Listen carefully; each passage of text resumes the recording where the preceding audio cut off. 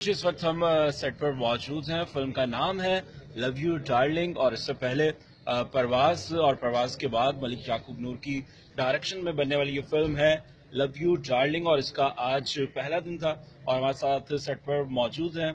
سخاوت ناز تو سخاوت بھائی کیا کہیں گے؟ آج کا یہ دن کیسا رہا؟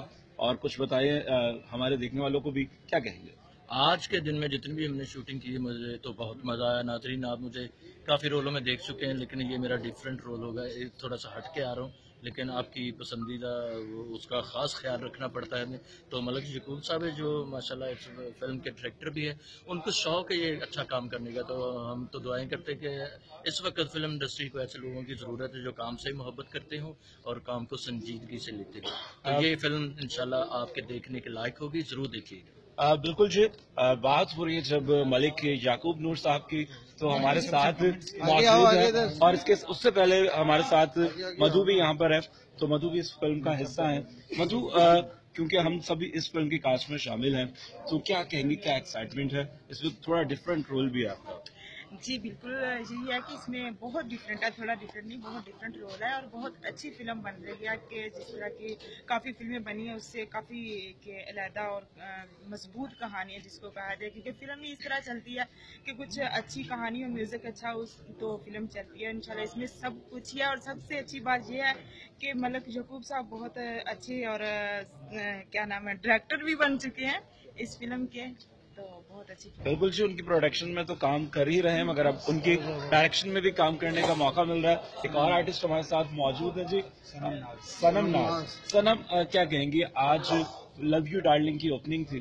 کیسا لگا السلام علیکم ناظرین۔ جی مجھے اوپننگ پہ کہ بہت اچھا لگا اور یہ جو فلم بن رہی ہے لو یو ڈارلنگ ایک نیا ٹرینڈ ہے اور بہت سافٹ سا ٹچ ہے اس میں اس میں کوئی ہلا گلا نہیں جیسے نارملی ریگولر موویز ہوتی ہیں اور بڑکوں والی وہ چیز نہیں ہے۔